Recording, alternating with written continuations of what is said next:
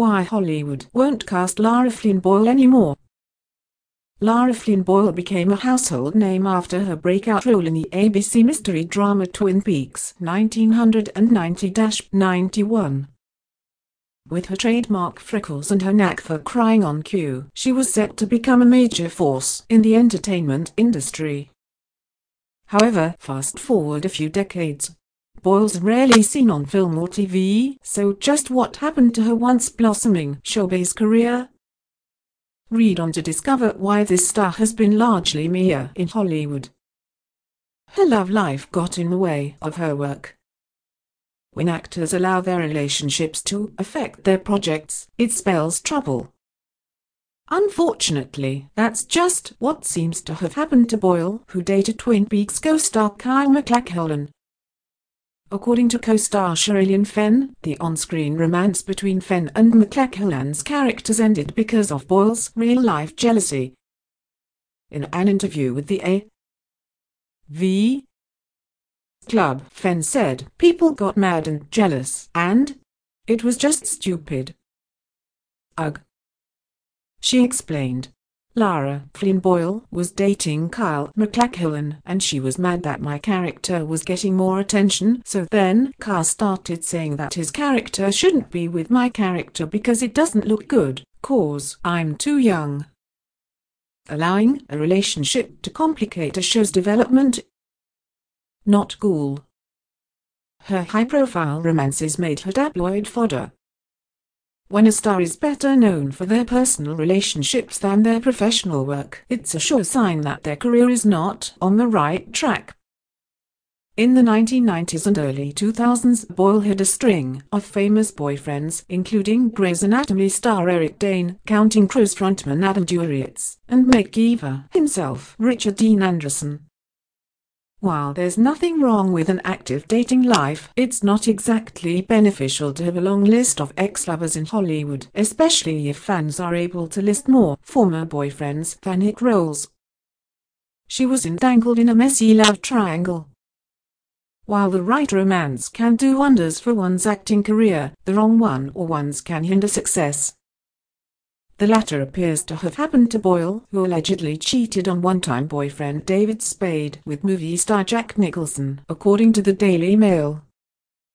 Though she reportedly rebuked Nicholson's initial advances, Boyle was later caught with the actor after getting into a car crash. Given that Boyle reportedly crawled out of the sunroof and yelled, I have a boyfriend. I can't be here, we'd say that the actress knew she'd been up to no good. She hasn't had the best luck with movies. Sometimes movies flop it happens to the best of actors. But when a series of projects receive poor ratings, stars can become associated with bad films, which hurts their chances at snagging better roles. So it goes for Boyle, who starred in a string of disappointments after starring in 1993's highly rated Red Rock West. Her lackluster projects include Baby's Day Out 1994, Since You've Been Gone 1998, and Men in Black 2 2002. She craved fame more than career success. For an actor to truly make it big, they need to care about their craft. While we're not suggesting Boyle didn't care about fine-tuning her acting skills, she definitely seemed to focus more on living the luxurious life of a Hollywood A-lister. Look, I love being famous. I'm not one of those people who feels like, why won't they leave me alone? Boyle reportedly said at a Wayne's World reunion in 2013 via the Daily Mail. If I care only about the craft of acting, I'd be doing dinner theater in Iowa. Sounds like Boyle was a little too fame hungry, no?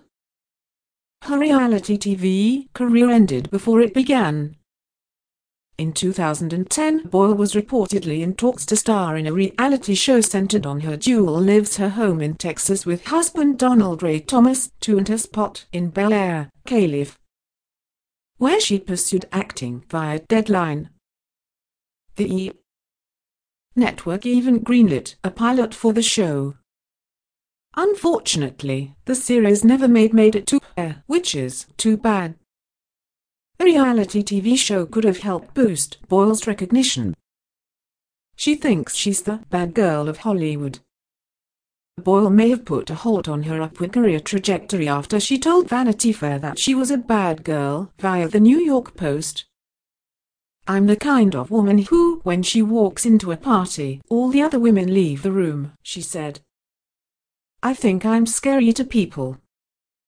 Considering that studio execs need their stars to get along on set, it's possible that Boyle set herself up for failure by adopting an edgy attitude. She was labeled a home wrecker. Boyle was once photographed with Star Wars icon Harrison Ford soon after the actor separated from his wife of 17 years, Melissa Mathison, reported ABC News. This, of course, led many to believe that Boyle had engaged in an affair with Ford. Though Ford denied the allegations, the damage had been done. In an interview with Vanity Fair via the New York Post, Boyle said, People really think I'm a home wrecker? It's probably not too easy to secure a new acting gig after people think you ruined Han Solo's marriage. She lost out on a major TV comeback. TV reboots and revivals can be a blessing for actors' careers, allowing them to re-emerge and reassert their relevance. The Twin Peaks revival in 2017 provided a great opportunity for several of its lesser-known stars. The third season debuted about 25 years after the series' original end, but Boyle was apparently not asked back. While she was reportedly desperate to rejoin the cast, co-creator David Lynch declined to discuss his reasons for not including her, simply telling TV Line, this is a story that takes place without her. Ouch. She's insecure about her age. Like many stars in the spotlight, Boyle once worried about growing older and losing roles to younger actresses. I know I may be running out of time, she said, via the Daily Mail. There are just not that many roles for older women.